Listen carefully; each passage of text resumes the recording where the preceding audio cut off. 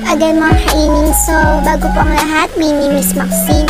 At dito po mga kainis is nagtuturo po ako ng online pagkakakitaan like earning application and earning website. So, kung interesado ka dito sa topic na ito, huwag mong kakalimutan i-like tong videos na to at mag-subscribe and click mo na rin yung notification bell para update ka sa lahat ng ina-upload natin bagong videos. And dito mga kainis is may pag-giveaway po tayo araw-araw kada upload po natin ng videos.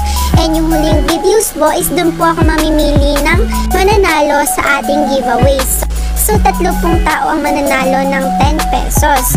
So, dito mga kainis, nasa unahan po yung mechanics ng giveaway. Panoorin nyo na lang po. So, i-comment nyo lang po sa baba yung road to 5K and i-comment nyo na rin yung inyong number. And mga kainings, every month is magpapag-giveaway po tayo ng 500 pesos. At sa pinakamalaki nating viewers na video is doon po ako mamimili ng mananalo. So sa mga solid subscribers dyan, so wag po kayo mag-alila dahil nga po is may nag-aantay po sa inyong biyaya. So kung nainip ka na, tara na!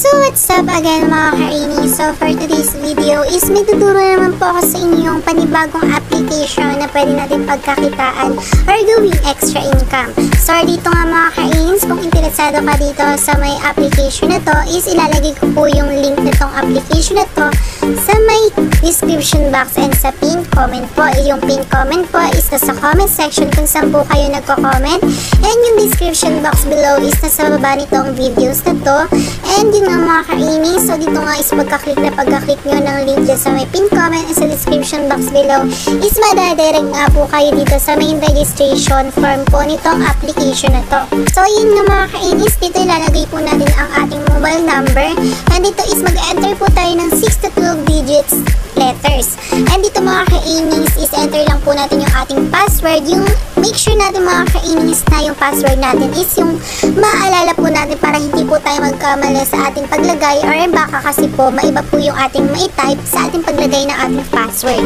So dito mga kainis is maglalagay po tayo ng captcha. Ang lalagay po natin yung captcha is yung sa gilid. Yung example po yung HLR and number 6. So click the register and huwag nyo kakalimutan mga kainis pag tapos nyo maklik yung register, huwag po kayo aalis agad dito sa may registration dahil may magpa-pop up po dito na download anyway. So, da-download po natin itong application na to. So, may, may, may magpa-pop up dito na download anyway and click the download anyway. And may magpa-pop up po dito na registration. So, dito nyo po makikita yan. Scroll nyo lang po. Scroll po natin.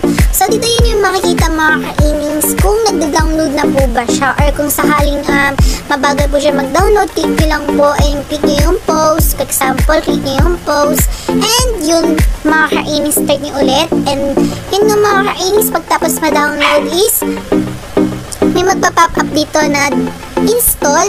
So, yun, click po natin yung install and pagtapos may install is may magpa-pop up ulit po na done or open.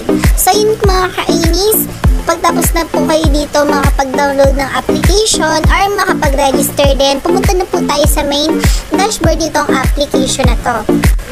So yun mga ka-aimings, dito na po tayo sa main dashboard nitong application na to. So dito nga mga ka-aimings is may libre po tayong 150 pesos after signing up.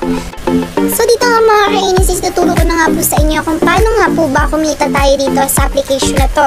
So kung natatandaan nyo si Leafire mga ka-aimings is kapatid lang po ito ni Leafire. Pero, pero for now is aalamin po natin kung scam po ba or legit po itong application na to. So dito mga ka-aimings ang gagawin lang po natin is magagrab na lang rin po tayo katulad kay Leaper. So nakikita nyo naman po yung itsura niya, parang sleeper na sleeper po. So click po natin yung 150 pesos. Kung example po na meron po tayong 150 pesos, so click po natin yan. So dito mga kainis, ang gagawin lang po natin receive your orders. So click po natin yung receive orders and click the agree review. So click po natin yan purchase. So yun mga kainis, nagba-mining na po siya. So yun nga mga kainis, nakikita nyo naman po na kamukhang kamukha mukha po siya ni Leafer. So, hindi po natin alam or di po natin masasabi na legit po itong application na to. Pero ang akin lang po is, tingnan po natin kung legit po ba talaga itong application na to. So, receive orders ulit. So, dito mga kainis, meron po tayo ditong 18. 18 per order. So, yun mga kainis, ang kikitain po natin dito kada araw is 24.84 pesos. So, mas lumaki pa po siya. So, nakikita nyo naman po yan, yung task commission. Yan po yung ating kikitain kada araw. So, receive orders ulit. Ganyan lang po yung gagawin natin mga kainis para kumita dito sa application na to. So yan, ganyan lang po yung gagawin natin. At mag-waiting lang po tayo and click the purchase. So back po tayo. So, pasensya pa maingay po yung aso namin. So, yun mga marami pa po ditong ways of earning. So, yan po, meron pa to, meron po tayong level 2 na 600 pesos. So, example man po na meron na po tayong 600 pesos, is pwede po tayo dyan pumunta. Also, kung example man po yung 150 natin is naging 600 na, and pumunta po tayo dito sa 600 and click po natin yan para mapunta po tayo dyan sa level 2 na yan. So, dito na mga ka-earnings is dito sa 2,000 level 3. At ang kina, pinakamalaki dito is yung level 8 is yun nga po yung 360,000 pesos. So, yun mga ka-earnings, so far na is ituturo ko naman po sa inyo kung paano po ba mag-top up dito sa application na to. So, click niyo po tong top up. Yan. So, waiting po natin. So, yun mga ka-earnings dito, ang pinaka-minimum po nila dito is 500 pesos. So, example po natin, 500 pesos. So, click po natin 500 pesos and click the top up. So, yan. So, dito mga kainis, mapupunta po tayo sa main um, wallet ng pagbabayaran po natin. Pero Gcash po yun. So, dito mga kainis, mapupunta po tayo sa gcash.net. Yan, sa mismong page po nila. So, dito is gagawin lang po natin, enter lang po natin yung ating mobile number. And pagtapos natin ma-enter yung ating mobile number, click the next, and mapupunta po tayo sa authentication verification.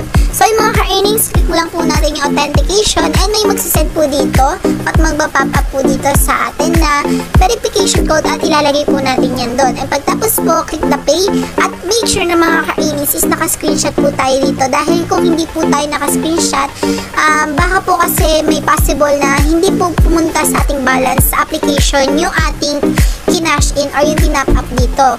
Ang akin lang po is payo ko payo ko lang po sa inyo na mag-screenshot po lagi kayo tuwing may babayaran po kayo para kung saan nagka-problema is ma ano po natin si customer service makontak po natin na nagka-problema po. So for now, wala pa naman po nagkaka-problema dito and back po tayo sa application.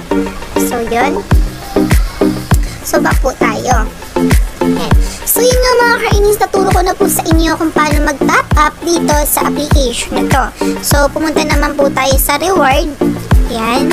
So dito mga kainis is mag invite po tayo ng friends. So dito is meron po tayong commission dito. So paano po ba makuha natin yon? So pumunta po tayo sa team. So, punta po tayo sa team. Yan. So, dito mga ka-innings, is-click nyo lang po yung invitation task. Kung example, mag-invite po kayo, click nyo po itong invite now or ikapin nyo po itong link at i-share nyo sa kahit anong social media platform. So, click po natin yung invitation task. So, yan, mapupunta po tayo dito. So, kayo na pong bahala, basahin nyo po to para kung paano po tayo makakuha ng income sa ating pag-invite ng friends. So, yun, pumunta po tayo ngayon sa me. Yan. So, dito mga kainis is kailangan po natin po magpa-membership. So, exit, exit po natin. So, dito mga kainis may membership system po. Yun nga po yung level 1, level 2, or yung hanggang level 8. So, dito mga kainis is bago po tayo mag-withdraw. So, click po natin yung withdraw is kailangan po nakabind yung ating account. So, dito mga ka-earnings, isilalagay po natin yung ating name ng GCash and yung GCash account or GCash number. So, dito mga ka-earnings, example po na, na ano nyo po yung pinaka-minimum nila. So, example, click po natin yung 154 kung magkano po yung minimum nila. So, click po natin yung confirm. So, yun, hindi pa po natin nalalagay yung ating real name. So, lagay po muna natin ang real name, lagay po natin yung ating Gcash name. So, yun mga kainis, is click po natin ulit yung confirm. So, yun nga mga kainis, ang pinaka-minimum po nila dito is 800 pesos. Nakatulad lang nga rin po ni Lifar. So, back po tayo. And dito mga kainis, nakatulad nga po ni Lifar is meron po sila ditong service fee or yung, yung charges fee na po natin. So yun mga ka-Ainis, um, I hope sana may natutunan kayo sa video tutorial na to. And I hope sana maging ligtas at healthy po kayo araw-araw. Again, yung Miss Maxine and have a great day.